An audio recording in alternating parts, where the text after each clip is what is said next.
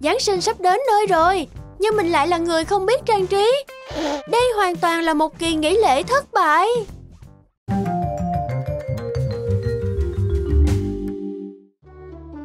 Mình rõ ràng có vấn đề với việc trang trí Giáng sinh. Mình nghĩ nó nên như thế này.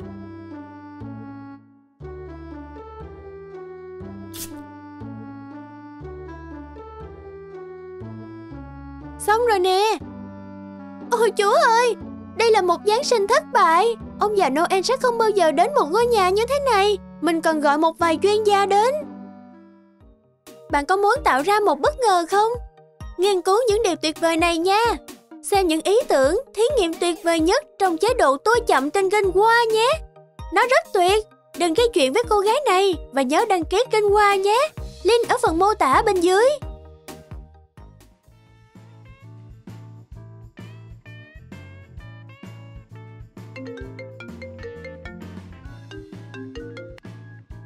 Xin chào, cửa hàng cốt lõi của trang trí xin nghe. Bạn cần một chuyên gia trang trí nội thất sao? Đó chính là công việc của chúng mình. Chúng ta lên đường nào.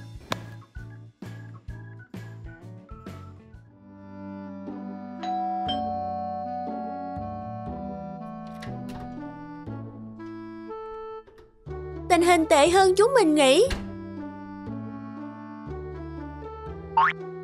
Giúp mình trang trí phòng để tổ chức tiệc Giáng sinh cho em gái mình nha.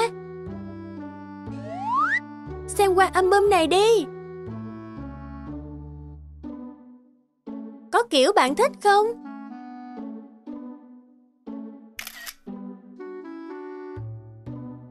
Ủa? Cái gì thế này? Một con búp bê LOL sao? Bọn mình mà trang trí Giáng sinh theo phong cách LOL thì sao nhỉ? Em gái mình rất thích búp bê Nghĩa là em ấy chắc chắn sẽ thích thiết kế này. Ví dụ với một vòng hoa Giáng sinh bình thường.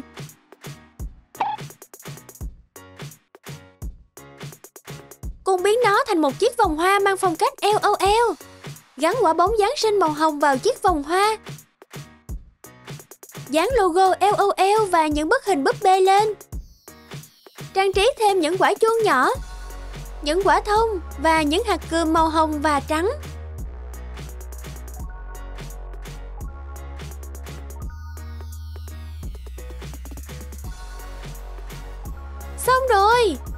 Giờ căn phòng trông hoàn toàn khác rồi. Tiếp tục phát huy nhé. Cùng đi giải cứu bữa tiệc này nào. Bắt đầu thôi. Chúng mình sẽ gỡ hết những đồ trang trí xấu xí này xuống. Và bây giờ bắt đầu trang trí cây thông thôi nào. Chúng mình chỉ dùng những màu mang phong cách LOL có tông hồng.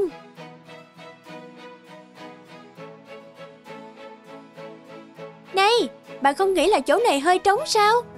Cây thông bị trống như vậy sẽ không đẹp nữa đâu. Mình để lại chỗ đó để treo đồ trang trí quan trọng này. Đây là quả bóng LOL xinh đẹp nhất. Đeo bông chụp tay cho búp bê LOL vào. Gắn một miếng giấy xốp lấp lánh làm băng đô.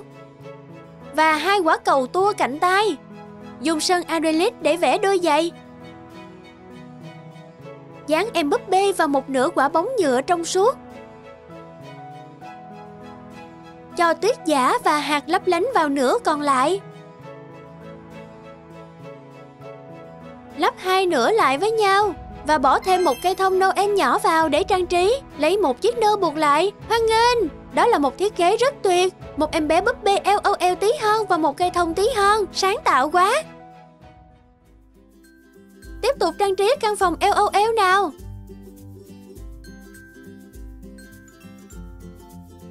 Những chiếc gối ôm, những bức tranh và đồ trang trí tủ quần áo. Tại sao lại có mấy cái đinh trên tường thế này? Chúng mình phải tìm cách dùng đến chúng. Chờ đã, mình có ý tưởng này. Cờ dây tam giác có thể làm bức tường trông dễ thương hơn. Cắt một hình tam giác từ giấy bìa màu dùng dùi để đục lỗ. Bạn cần 7 hình tam giác có những màu sắc biểu tượng của LOL. Luồn một sợi dây ruy băng qua những chiếc cờ.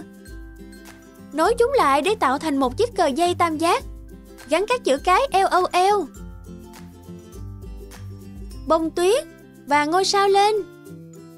Treo thêm đèn nháy lên. Bật đèn lên nào. Bây giờ bức tường này nhìn rất rực rỡ và mang không khí mùa lễ hội rồi. Trang trí. Nhìn vào đống hộp này, có gì ở bên trong đây? Chà, để xem nào.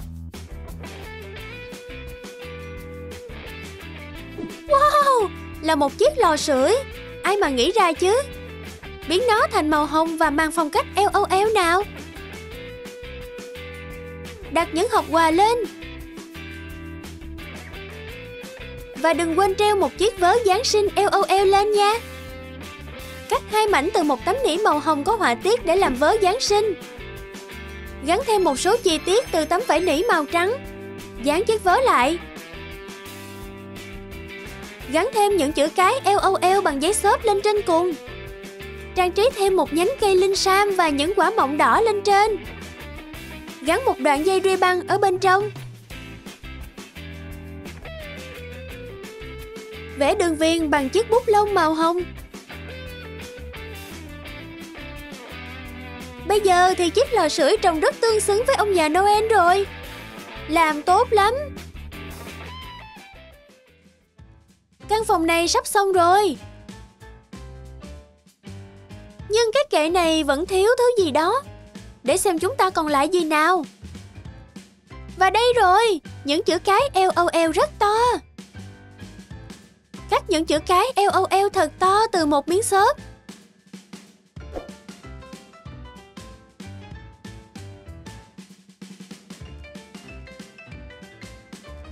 phủ một lớp sơn acrylic lên mặt trên. Sử dụng một miếng xốp bọt biển để vẽ thêm các chấm bằng sơn acrylic màu đen. Sơn xung quanh màu hồng.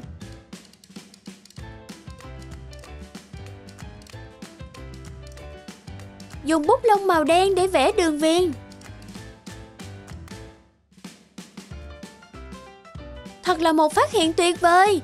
Những chữ cái đặt ở đây trông rất đẹp, trang trí kệ với vải thuyền và bóng bay. Và một chiếc mũ ông già Noel nữa. Đây là một phong ảnh LOL tuyệt vời. Bộ đồ ăn phù hợp là một phần quan trọng của một bữa tiệc dễ thương.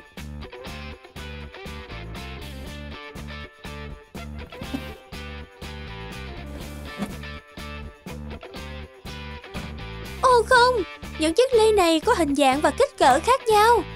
Mình cần phải giải quyết vấn đề này. Mình sẽ làm những chiếc ly dành riêng cho bữa tiệc. Bọc phần đế của chiếc ly bằng giấy xốp màu bạc. Dùng dây ruy băng buộc vào tấm vải thuyên Để làm một chiếc chân váy nhỏ.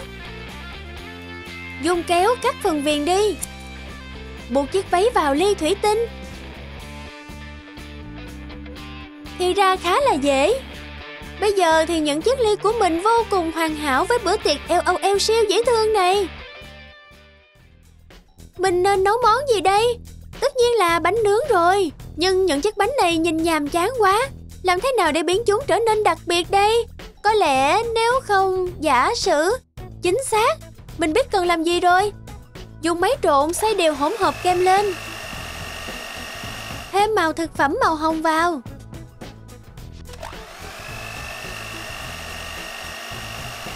Cho kem vào một túi bắt kem. Phun kem lên trên những chiếc bánh. Cắt các chữ cái LOL từ kẹo mềm trắng. Trang trí những chấm bi bằng kẹo mềm màu đen lên trên. Là một chiếc kẹo cây gậy từ kẹo mềm màu trắng và đỏ. Gắn các chữ cái và kẹo cây gậy lên phần kem Trang trí cho chiếc bánh bằng kẹo dẻo marshmallow và những viên kẹo nhỏ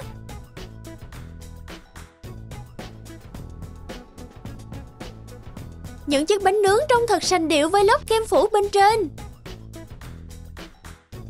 Chúng rất hấp dẫn. Ồ, oh, bữa tiệc còn chưa bắt đầu. Mình phải đợi thôi.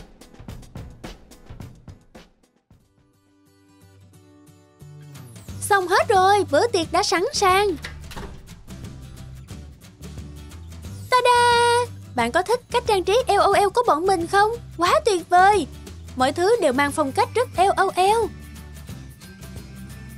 Và đây chính là chủ nhân của bữa tiệc này Em thấy bọn chị trang trí thế nào em gái? Rất đẹp ạ Và em có những chiếc mặt nạ rất đặc biệt để chụp ảnh đây ạ Vẽ theo mẫu của kiểu tóc biểu tượng LOL trên một tấm giấy xốp màu hồng.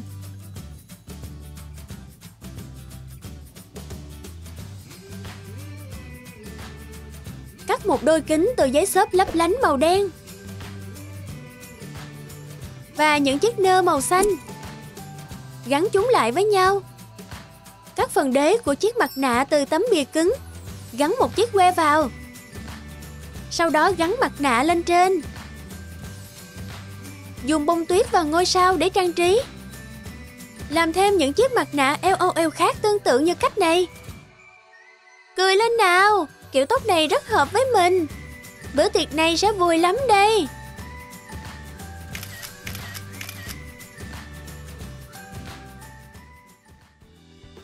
Mình quên mất, Mình có một món quà tạm biệt.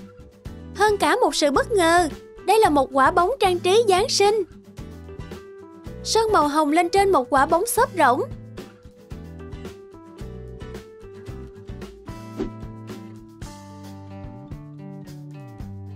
Vẽ thêm các họa tiết chấm bi lên phần trên.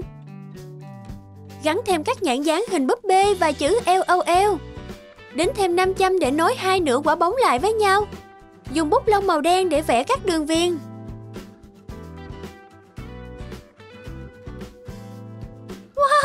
Một món quà thật dễ thương. Cảm ơn bạn, bạn chính là chuyên gia trang trí nội thất LOL xuất sắc nhất. Cha, cùng xem có gì bên trong nào, mở ra thôi. Wow, toàn là những đồ trang trí Giáng sinh LOL Nặng một hình chai nước dành cho búp bê LOL từ đất sét polymer. Nướng lên theo đúng hướng dẫn. Phủ lên phần nắp chai một lớp keo.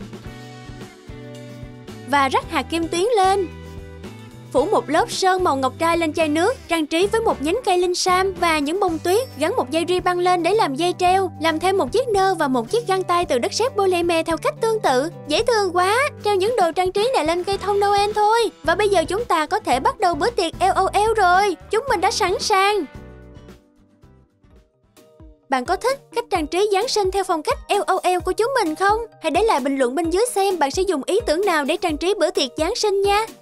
Và đừng quên nhấn thích video, đăng ký kênh của chúng mình và bấm vào chuông để không bỏ lỡ những ý tưởng trang trí các bữa tiệc từ Trôm Trôm.